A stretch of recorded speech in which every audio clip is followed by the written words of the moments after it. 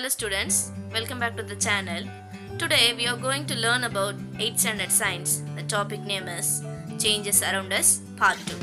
Already we discussed chemical reactions, conditions required for chemical reactions in Part 1. So in this video we want to learn effects of chemical reaction. It includes biological effects, environmental effects, production of heat, sound and pressure, evaluation of gas, change in color and change in state. We know that every chemical reaction requires a specific condition to occur. When chemical reactions takes place, there will be production of heat, light, sound, pressure, etc. So first we move to biological effects. The reactions catalyzed by the enzymes results in the degradation of food quality such as development of bad taste and odor and loss of nutrients. For example, rotten eggs develop a bad smell due to formation of hydrogen sulfide gas. Rotten eggs develop a bad smell due to formation of hydrogen sulfide gas. Decaying of vegetables and fruits due to microbes. Next we move to rancidity of fishes and meat. So what is rancidity? Rancidity is the development of unpleasant smell in fats and oils which are often accompanied by changes in their texture and appearance. See the image. When fresh oil undergoes rancidity, what will happen? The color of the oil will change.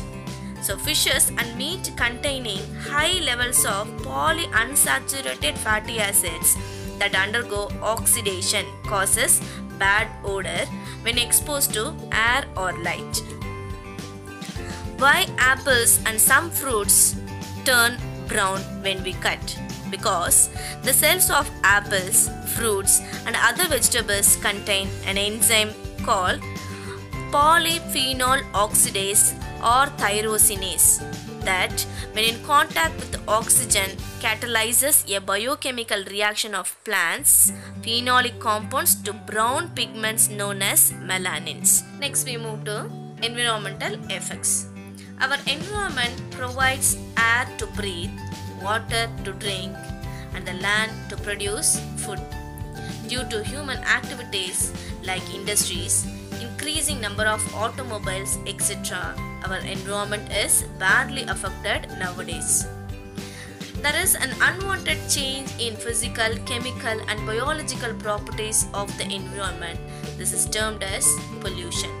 The substances which cause these changes are called pollutants next we move to types of pollution there are different types of pollution such as air pollution water pollution soil pollution or land pollution, noise pollution, marine pollution and thermal pollution. So for this lesson, we want to discuss only air pollution, water pollution and land pollution. First we move to air pollution.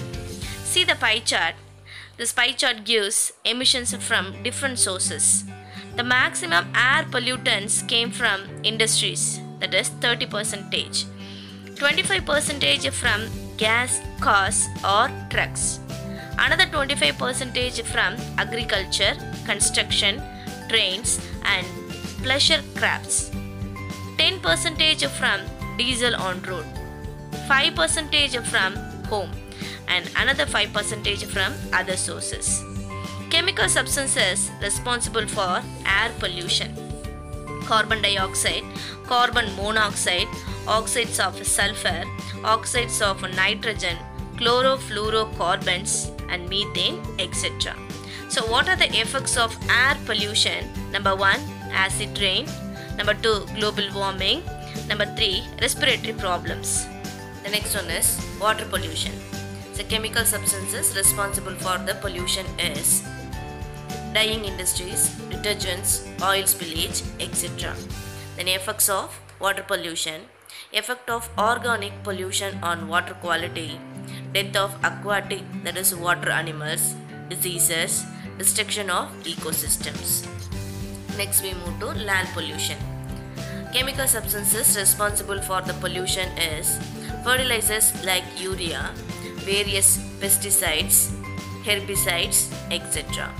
The effects of land pollution are spoilage of land, cancer and respiratory diseases, etc. The next we move to rusting.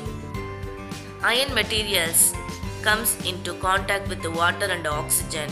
It undergoes a chemical reaction called rusting. Iron metals come in contact with the water and oxygen. It undergoes a chemical reaction called rusting.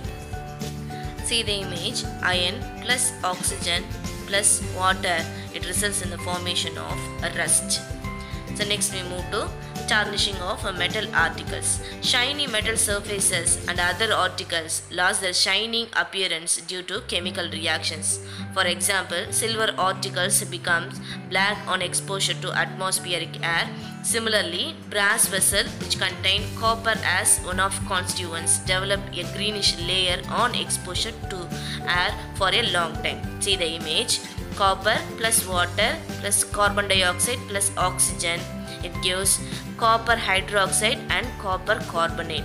The water carbon dioxide oxygen they are present in the moist air copper hydroxide and copper carbonate this is the greenish coating on surface of copper vessel this is basic in nature so next we move to production of heat light sound and pressure production of heat before we enter this topic, we want to know what is exothermic and endothermic reactions. Exothermic reactions, they are released heat energy. Endothermic reaction, consuming heat energy. Exothermic reactions are hotter than surrounding. Endothermic reactions are cooler than surroundings. Have you ever rubbed your palms in winter season to keep yourself warm? Have you noticed that heat produced when you use cycle pump? Likewise, chemical reactions also produce a heat energy. Such reactions are called exothermic reactions. For example, when you add water to quicklime that is calcium oxide, lot of heat released to produce slaked lime that is calcium hydroxide. Quicklime reacts with the water to form slaked lime releasing a lot of heat. The beaker becomes hard, its temperature rises. The second one is production of light. What happens when you ignite a candle? You get light as a result of burning. Some chemical reaction like these produce light. For example, when a piece of a magnesium ribbon is burned in a flame, bright light is produced with the heat. Even the fireworks during festival times produce different colored lights which are all due to chemical reactions. Similarly, when we ignite methane gas, it produces heat and light. Next, we move to production of sound. We produce sound when we speak. When we when you hit metals like iron, copper, etc., sound is heard. Some chemical reactions do produce sound when they takes place. What happens when you fire crackers during Diwali? The chemical substances kept in the crackers undergo some chemical reactions to produce sound. For example, take a clean test tube, add some dilute hydrochloric acid, drop a piece of a magnesium or a piece of a zinc metal. Now, bring a burning matchstick near the mouth of the test tube. What do you hear? You hear a pop sound. When a metal like zinc or magnesium reacts with the diluted acid, hydrogen gas is produced. Since hydrogen gas is highly inflammable, it reacts with the oxygen in air to produce pop sound. The last one is production of pressure. What happens when you compress hot balloon having full of air? Will it burst or not? Yes, it will burst. This is due to sudden release of air from the balloon as a result of increased pressure on compression. Like this, some chemical reactions produce gases which build up the pressure when the reaction takes place in a closed container. If the pressure level goes beyond the limit, we get the explosion. For example, explosive fireworks on this basis. When they are ignite, they explode due to pressure generated by gases from the chemical reactions. Thus, you hear a huge sound. Next, we move to evaluation of gas, change in color and change in state. In addition to above effects, Certain other effects may also take place as a result of chemical reactions. Number 1. Evaluation of gas. What happens when you open a soda bottle? You can see air bubbles coming out of soda water. Similarly, gas evolution may take place as a result of chemical reactions.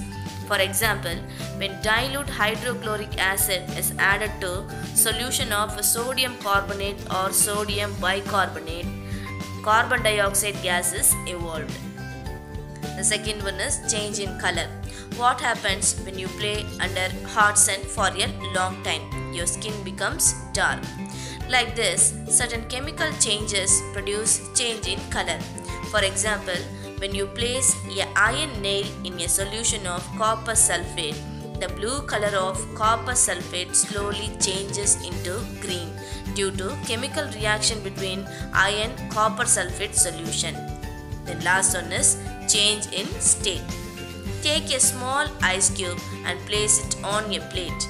What happens after some time? Ice melts into water. Here, solid ice cubes change into liquid water.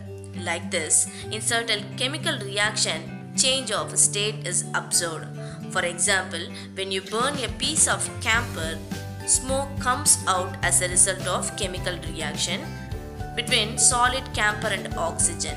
Here, there is a change of state from solid to gas. If you have any doubts and suggestions, give your feedback to the WhatsApp group.